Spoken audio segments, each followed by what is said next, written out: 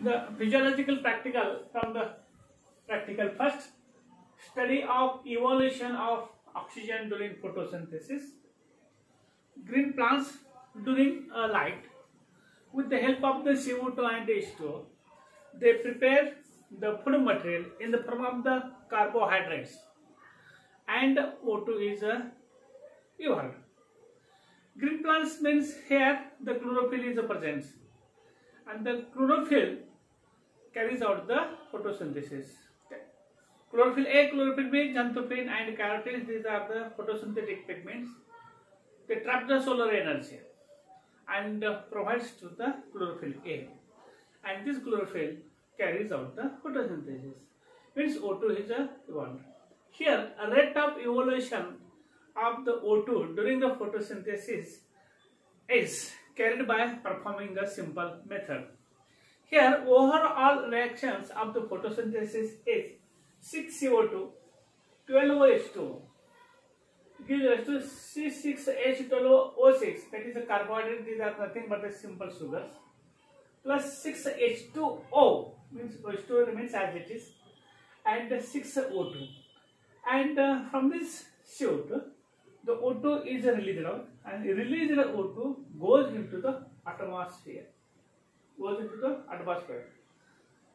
For this performing the experiments, we require the requirement that is a beaker, funnel, test tube, distilled water, and the plant, living the plant. That is a living the green plant.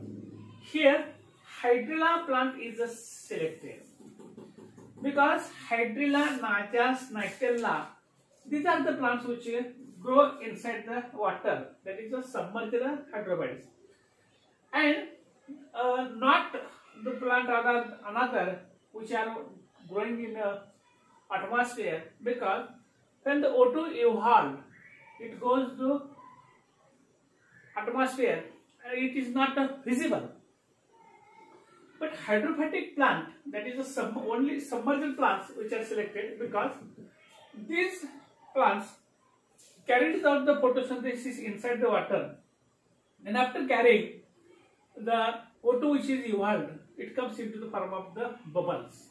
Therefore, the bubbles are easily visible in water. For this purpose, the experiment is this hydrilla plant is selected. Here, by performing the procedure. Uh, first, uh, 1 liter beaker is taken, in this water is uh, kept. Then the hydrilla plant, fresh hydrilla plant is uh, taken. It contains the by with the help of the sharp blade, and uh, the cadence remains upward directions. Such a type of the funnel, inverted funnel is uh, kept and this funnel with the hydrilla lip is kept in this uh, beaker. Then test tube is uh, taken. Test tube is uh, filled with the help of the water and by slotting the test tube inverted on the neck of the funnel and kept down. And this whole setup experiment is kept in the sunlight. After half an hour, uh, photosynthesis which are expressed during the light, that is the sunlight, and that time O2 which is evolved, this O2 comes in the form of the bubbles. And the bubbles are easily visible in the test tube. It gathers in the tip of this uh, test tube. Then observation table is uh, made.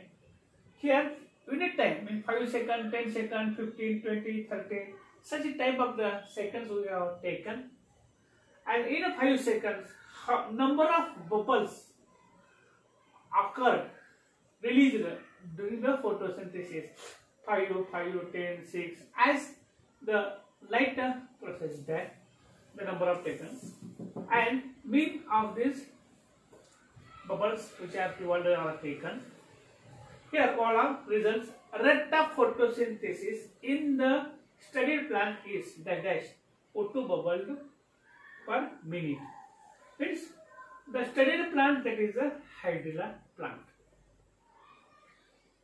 conclusion of this practical is means green plants carries out the photosynthesis and uh, in this photosynthesis evolution of the O2 is takes place and in evolution of the O2 which is, uh, takes place it is visible only in the submerged hydrophytes therefore submerged hydrophyte hydrilla nitella najas which are easily available in the pond ecosystem.